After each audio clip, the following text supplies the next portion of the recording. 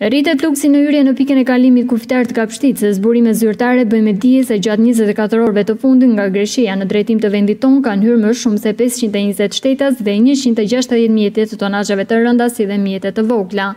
Për të përballuar fluksin në rritje, kjo pikë e kalimit kufitar është duke punuar momentalisht me dy sportele në hyrje, me qëllim për të minimizuar pritjet nga ana e emigrantëve që vijnë për të kaluar festat e fundvitit pranë familjarëve të tyre.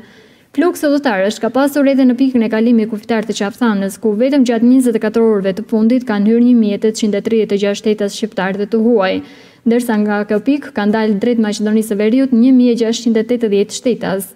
Shifra këto, që mbeten të larta, por kanë pësuar një ulje të ndjeshme nga ditët e mëparshme, kur fluksi ka qenë më i lartë. Pala jonë në pikën e kalimit kufitar me Maqedoninë e Veriut është duke punuar me katër sportele, dy në hyrje dhe dy në dalje.